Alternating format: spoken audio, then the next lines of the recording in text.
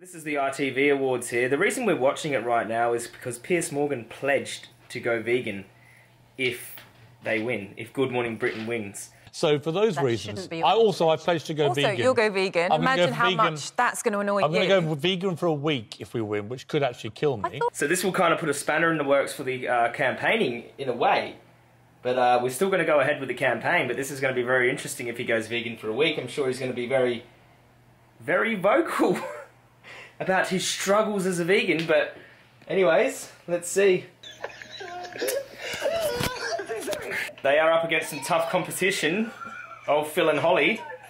Everyone remembers my um, run-in with Phil and Holly.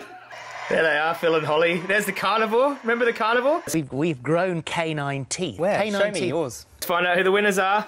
Is old Piercy boy going to go vegan? television award goes to Please, please, please, please.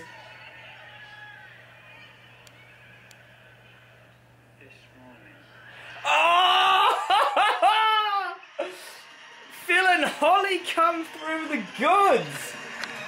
Look at Piers's face.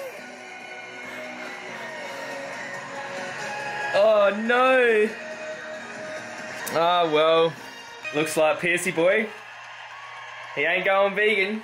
You know what? Let's hope he goes vegan anyway. Maybe he'll go vegan from the campaigning, but that would have definitely put a put a big spanner in the works, eh? Oh well, Phil and Holly. The old lion over here. Phil. Thank you, thank you so, so much. Give this video a like if you think I should get back on this morning with old Phil and Holly and talk about his canine teeth.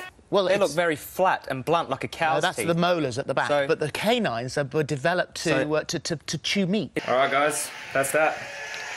He ain't gone vegan for a week, so it's time to hit him hard.